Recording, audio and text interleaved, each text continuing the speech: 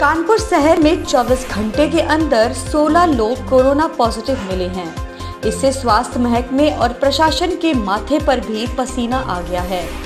शहर में कोरोना संक्रमित लोगों की संख्या अब 45 हो गई है। इसमें एक बुज़ुर्ग ठीक होकर घर जा चुके हैं, जबकि दूसरे रेडीमेड कारोबारी की मौत हो चुकी है। शनिवार रात में आई रिपोर्ट में किदवई नगर के गल्ला व्यापारी का बेटा मछरिया का युवक कोली बाज़ार के साथ लोग और मदरसे के साथ छात्र हैं। जिनमें कोरोना संक्रमण की पुष्टि हुई है।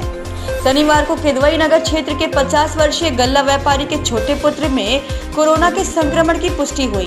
उसकी जाँच प्राइवेट लैब में कराई गई थी।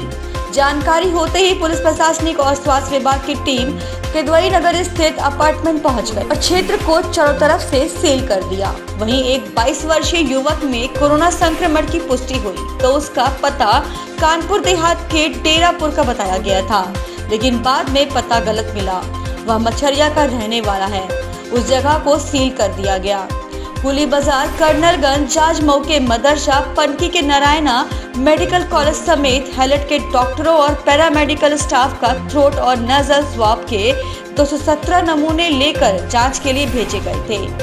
GSVM medical college covid 19 lab में जाँच के बाद देर रात तक 14 की रिपोर्ट पॉजिटिव आई है, जिसमें कुली बाज़ार के सात लोग हैं और मदरसा के बिहार के रहने वाले सात छात्र शामिल हैं। मेडिकल कॉलेज ने देर रात ही रिपोर्ट से जिलाधिकारी और सीएमओ को अवगत करा दिया।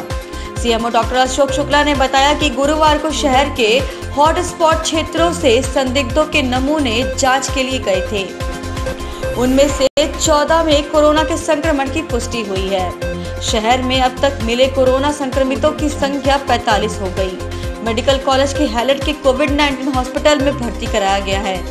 उनके घर के साथ क्षेत्र के लोगों को क्वारंटाइन करा दिया गया। कानपुर से संवाददाता अमित ठाकुर की रिपोर्ट।